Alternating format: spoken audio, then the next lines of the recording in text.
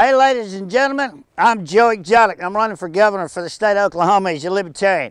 It's colder than a well digger's ass out here. And that's one thing you wouldn't see Dan Fisher do is be out here in 19 degree weather scooping shit and taking care of animals because he's too busy standing at the podium passing out that donation basket. And Gary Jones, we don't want him to become governor either because we're going to keep him as a state auditor and we're going to teach him how to do his job right. Because one of the first things we're going to do is audit the SNAP program here in Oklahoma. And if you don't know what the SNAP program is, that's the food stamp program. And with the audit that I have planned, we're going to save $89,640,000 a year simply by making that program do exactly what it's supposed to be doing.